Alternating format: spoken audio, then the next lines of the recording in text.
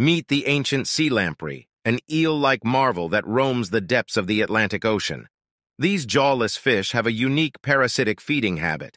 With their circular sucker mouths filled with sharp teeth, they latch onto other fish, like salmon and trout, draining their blood and weakening them.